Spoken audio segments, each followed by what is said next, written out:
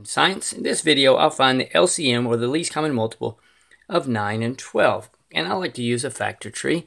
So let's find all the prime numbers of 9. I know 3 times 3 equals 9. Circle the 3 and the 3 because they're both prime. So now I'm finished. Now let's find the prime numbers of 12. I know that 2 times 6 equals 12. Circle the 2 because it is prime.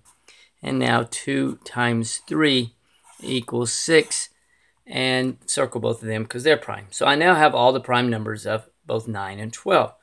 I'm now going to set up a prime factor chart just to cut down on the number of errors. Okay, I write down the prime numbers for 9. There's a 3 and a 3. For 12, I'm going to first start with this 3. I'm going to put a check by it. So the 3 is there.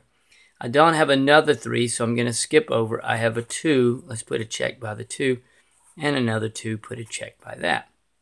I then follow this rule. I bring the numbers down, but if I have two, a, a vertical pair, uh, then I only bring one number down. Since I have a vertical pair, I bring down one 3, bring down this 3, bring down a 2, and a 2, and then all I do is multiply these together. I'm going to move this up a little bit so I don't run off the paper.